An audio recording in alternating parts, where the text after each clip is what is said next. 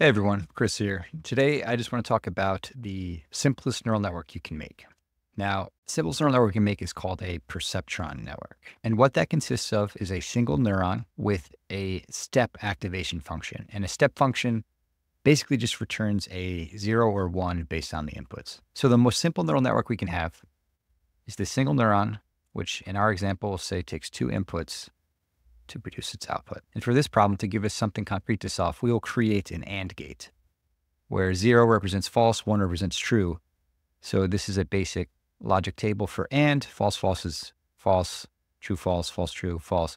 But true, true equals one. And so given this simple neural network of one neuron, how can we compute this properly?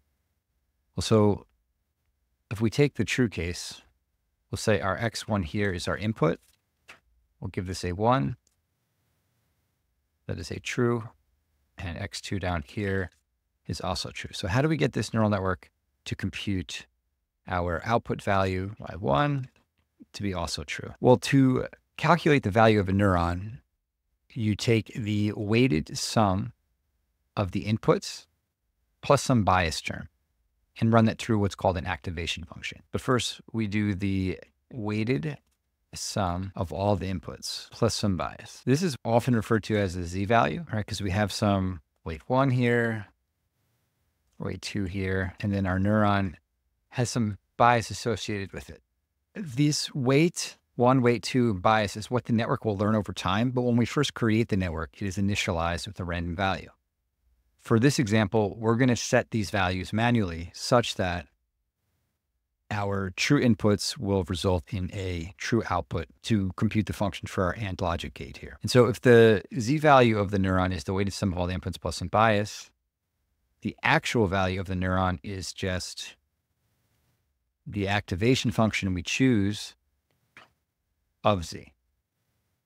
And now in the case of our perceptron, we are choosing a step function where if the value of z is greater than some threshold, we output a one. If the value of z is less than some threshold, we output a zero.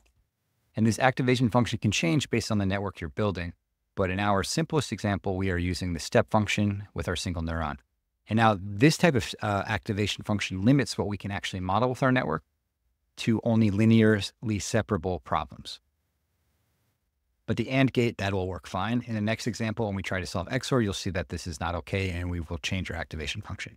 But this is just the most basic foundational simple neural network you can build. One neuron, a step function for activation and outputs one or zero based on the Z value being above or below some threshold. We will say our threshold equals zero.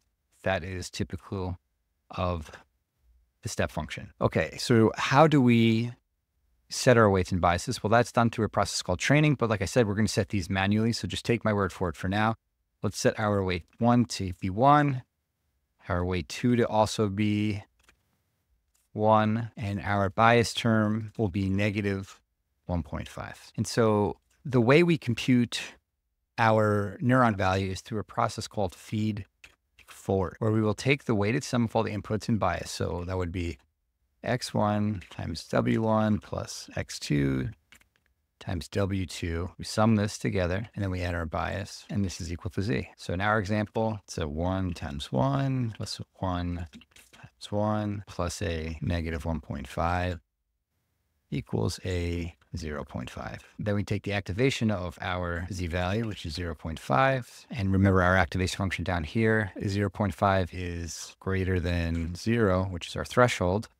So return a one. So the value of this neuron is a one, which in a perceptron network, the value of this neuron is your output. There is not an additional output layer here, even though we call this an output neuron. And so we can see that true and true equals true. This is an AND gate. And now if we set this to zero, let's say another example, we make this a zero. This would be zero plus one is plus negative one and a half is negative 0.5. That is less than zero we get false. And so I just wanted to walk through a simple neural network today and give you an example of feed forward. Uh, but we covered quite a bit today.